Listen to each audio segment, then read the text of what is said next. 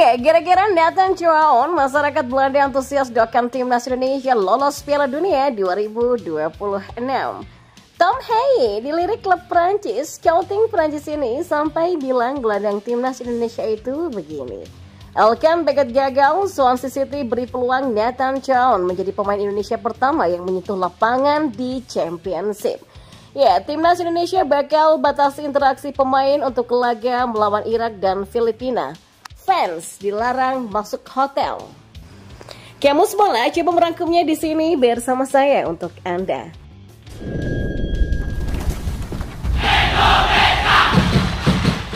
Ya, masyarakat Belanda mendoakan timnas Indonesia untuk lolos ke Piala Dunia 2026 gara-gara Nathan Choaon menarik untuk dibahas ya. Sebab sejumlah netizen asal Belanda tersebut ternyata ikut memantau perkembangan timnas Indonesia yang saat ini tengah berjuang di kualifikasi Piala Dunia 2026 zona Asia. Dan terkait masyarakat Belanda yang mendoakan timnas Indonesia itu dapat dilihat di postingan klub Eredivisie SC Heerenveen. Saat itu Heerenveen menyinggung Nathan Chown yang sedang berjuang membela timnas Indonesia U23 di Piala Asia U23 kemarin. Dalam postingan tersebutlah beberapa netizen Belanda menyadari bahwa banyak pesepak bola negara mereka yang memilih membela timnas Indonesia. Ya, meski para pemain berdarah Belanda itu memilih membela negara lain, hebatnya masyarakat negeri kincir angin tersebut tetap menghormati keputusan mereka. Bahkan ada yang mendoakan dengan hadirnya para pemain naturalisasi berdarah Belanda, timnas Indonesia bisa menembus Piala Dunia 2026 yang nantinya akan digelar di Kanada, Meksiko, dan Amerika Serikat tersebut. Ya, mereka pemain naturalisasi timnas Indonesia gagal menembus timnas Belanda, tapi mereka tetap keren memilih mewakili negara Anda. Bahkan lebih baik nih kalau timnas Indonesia bisa lolos ke Piala Dunia, kata netizen Belanda. Ya, tentu saja komentar netizen Belanda ini mendapatkan respon positif dari para pecinta sepak bola tanah air. Sayangnya, Nathan dan Tom juga pemain timnas Indonesia tidak akan memperkuat SC Heerenveen di musim depan. Nathan sendiri kembali ke klubnya di Swansea City, sedangkan Hay berstatus tanpa klub karena kontraknya dengan Heerenveen berakhir pada musim panas ini. Ya, kini keduanya pun fokus bersama timnas Indonesia untuk dua laga tersisa di babak kedua grup F kualifikasi Piala Dunia 2026 zona Asia. Garuda tepatnya akan menyambut timnas Irak di 6 Juni nanti di dan Filipina pada 11 Juni nanti di Stadion Utama Gelora Bung Karno. Nah, selanjutnya, teka-teki masa depan gelandang timnas Indonesia Tom Haye yang akan berstatus bebas transfer terus diperbincangkan sampai hari ini. Sosok berusia 29 tahun ini memutuskan tidak memperpanjang kontrak bersama klub Eredivisie Belanda, LC Heerenveen yang berakhir pada 30 Juni nanti. Situasi demikian membuat Tom mulai dikaitkan dengan beberapa klub Eropa. Salah satunya tim Italia yang baru promosi ke Serie A yaitu Como FC. Akan tetapi Mirwan Suwarso selaku perwakilan dari pemilik Como langsung menolak Tom Haye. Mirwan menegaskan jika kemampuan yang dimiliki pemain berjuluk The Professor ini tidak cocok di Serie A. Adapun sebelumnya dikaitkan dengan Como, Tom sudah lebih dulu dirumorkan akan merapat ke tim papan atas Liga Prancis Ogier Nice. Dilaporkan oleh media-media Eropa, rumor kepindahan Tom di Ogier Nice sempat berhembus kencang pada bursa transfer Januari 2024. Tim jawara League 1 sebanyak 4 kali itu kabarnya menginginkan Tom karena dianggap cocok dengan gaya bermain klub. Faktor lain yang membuat Nise tertarik merekrut Tom karena ada rekomendasi dari salah satu talent scouting Perancis yang bernama Bertinho. Ya, secara keseluruhan Tom memang menonjol ya dalam bertahan karena kemampuannya mengalirkan bola lewat passing dan berlari itu luar biasa, kata Bertinho.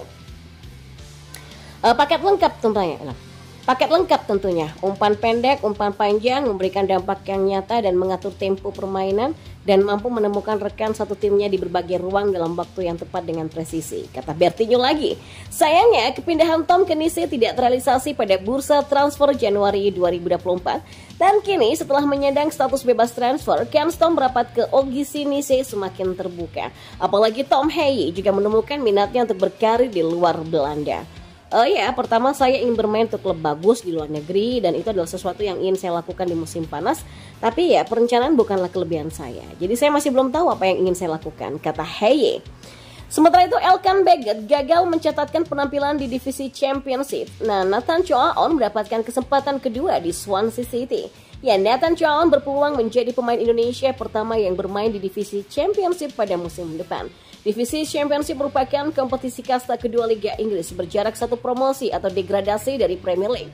Nathan sebenarnya sudah mencicipi kompetisi berisi 24 klub itu pada musim lalu, tapi terbilang gagal. Ia direkrut Swansea City pada musim panas 2023 dari Excelsior, tetapi tidak sanggup beradaptasi dengan kerasnya Liga Inggris. Pada paruh pertama musim 2023-2024, ia paling banter hanya menembus skuad pertandingan tanpa pernah keluar dari bangku cadangan. Ya, masa adaptasinya terganggu Swansea City yang limbung ditangani tiga pelatih dalam enam bulan. Dan sejak Juli sampai Januari lalu, The Swans dilatih oleh Michael Duff yang dipecat, Alan Sheehan sang caretaker, dan Luke Williams sang pengganti tetap. Luke William juga memutuskan mengirimkan Nathan kembali ke Belanda untuk mendapatkan menit bermain. Upaya tersebut membuahkan hasil minim, mengingat bek kiri 22 tahun itu hanya tampil dalam 4 pertandingan dengan total 15 menit saja. Untungnya Nathan punya hal lain untuk dipamerkan, yaitu performa gemilang bersama timnas U23 Indonesia di Piala Asia U23 2024. Ya, manajemen Swansea pun memasukkan Nathan sebagai pemain yang dipertahankan untuk musim 2024-2025. Musim depan ia bisa melakukan apa yang gagal dilakukan oleh Elkan Begat yaitu debut di Championship. Elkan Begat musim lalu mencicipi divisi ini bersama Ipswich Town tetapi hanya duduk di bench bahkan lebih sering tak diajak bertanding. Beckett sejauh ini hanya pernah tampil reguler di kasta kelima bersama Kings Lynn dan kasta keempat bersama Gillingham dan kasta ketiga dengan Bristol Rovers. Sampai sekarang masih belum ada pemain Indonesia yang menyentuh lapangan untuk level kasta kedua atau Championship dan pertama atau Premier League. Nathan bisa memecahkan rekor tersebut bersama Swansea, begitu juga Beckett bersama Ipswich.